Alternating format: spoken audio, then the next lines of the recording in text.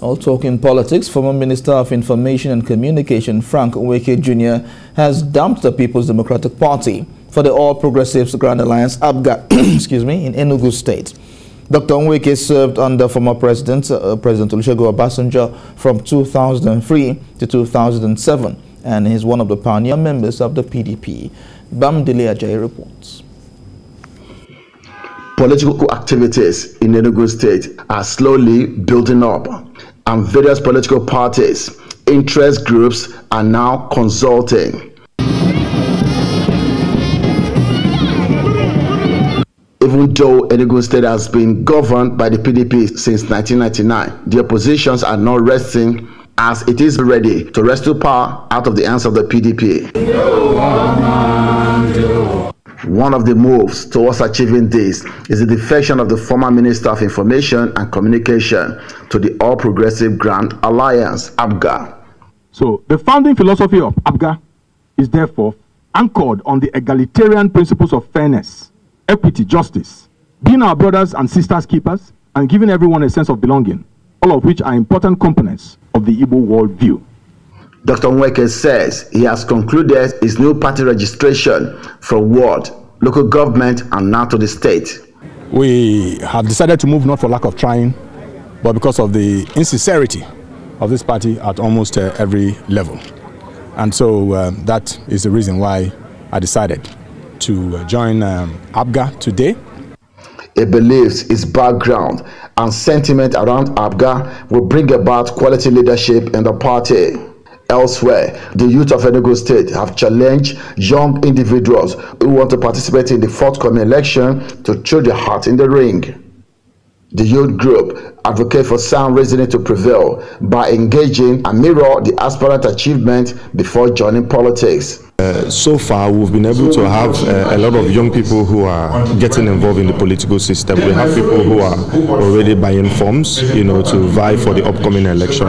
But most importantly, we've also been engaging, you know, different stakeholders across party lines, you know, to make sure that they give opportunity not just for youths, okay, but for people who have the capacity. This is an awakening call to our young persons to take their destiny into their hands.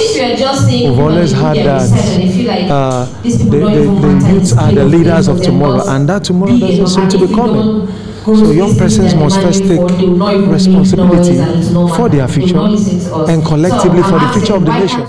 They cautioned that the youth should not be used as instrument of election malpractices. It remains to be seen what difference the 2023 election will look like as different interest groups are building consensus to enable them present their best for the general election. Bamidele Ajayi, TVC News, Enugu. Senator representing Lagos Central Senatorial District, Oluremi Tinubu, has restated her commitment towards making life better for her constituents uh, through sustainable empowerment drive. She said this during the presentation of mini buses to community heads within the district. Abimbola Agbebi reports. That marks the beginning of another phase of empowerment initiative, the third of its kind, aimed at helping people overcome economic hardship. It's the official presentation of minibuses, popularly known as Korope, to community leaders within the area. It's a brainchild of Senator Oluremi Tinubu, lawmaker representing the district at the National Assembly. The initiative, which kicked off on the 16th of January 2021, has had over 100 traditional leaders within the district as beneficiaries of the gesture. I really appreciate her and I want to thank her once more that may Almighty Allah continue to replace our pulse with abundance. Ma has been doing a lot of empowerment for the people within his uh, senatorial district. Uh, skill acquisitions, training people for so for two weeks and at the end of the day at the end of the training he give them a startup. today is um, there are cars vehicles for them they should use them judiciously to earn income or livings for themselves. you can see this district is calm and mean meaning that there have been turnover of several empowerment has yielded to wealth creation and empowerment and people becoming independent of themselves it shows that she's very you know, familiar with the grassroots. Uh, she's working with the grassroots to mobilize and galvanize, you know, what uh, it is necessary to develop the community. Uh, you know, and wh- whoever that is doing that for you, uh, trying to support you in what you do, is a life giver. So we will continue to appreciate her for that. Happening at a time when Muslims all over the world are observing the Ramadan fast, Remi Tinubu urged Nigerians to be more prayerful for the country at this time. What I've done today is out of love and compassion for, you know, others. Some people are there that they have more than the others. But you that have more than the others should do for the people who don't have.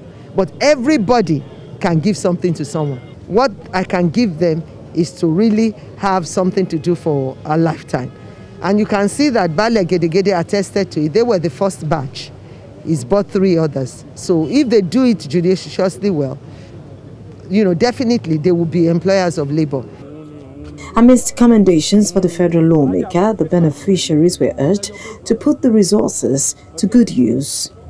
Abimbola Agbebi, TVC News, Lagos. Well, many of the world's estimated 2 billion Muslims have started fasting in Ramadan. The faithful will abstain from food and drink from dawn to sunset from, for 29 to 30 days as an act of worship and to strengthen their relationship with God. Senior correspondent Adedoja Salam Adeniyi attended the Lagos State Government pre-Ramadan prayer for this year.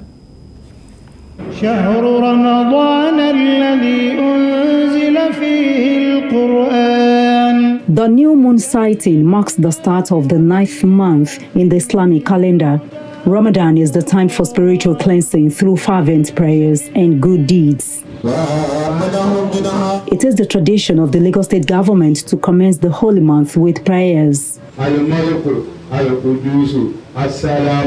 It started with prayer for Nigeria. أستغفر الله الله أستغفر الله إن الله غفور رحيم Still on the worsening insecurity in the country, the deputy governor also wants faithful to use the holy month in praying for a peaceful Nigeria. Somebody left his house to say, I'm going to kill somebody. Imagine that mindset. So that's why we have to intervene in all spheres, you know. Parents have to take care of their wives have to take care of their husband, husband has to take care of their wives, and so on and so forth. I implore myself and all the Muslim Ummah to pray for this country so that we have peace, so that the spirit of shaitan doesn't take over our land. All these killings, kidnappings, and so on, so that we pray that Almighty Allah take control of our country and bring peace and happiness because without it, really, nothing can happen. Ramadan holds greater importance as it is the first time Allah subhanahu wa ta'ala revealed the Holy Quran to Prophet Muhammad, peace be upon him, on one of the last 10 nights of the month, known as the Night of Power. The significance of this month is for us to, to be of good character, to help each other, to help our fellow Muslims, not even non-Muslims at this month. Some will be fasting without anything for them to eat. So we have that responsibility to make sure that they feel as we feel. So the month of Ramadan is a month of peace, month of you know selfless service to, to humanity. Fasting during Ramadan is obligatory. Exemptions are made for children, pregnant women, nursing mothers, and those who are ill or traveling. Adedoja Salam Adeniyi, TVC News, Lagos.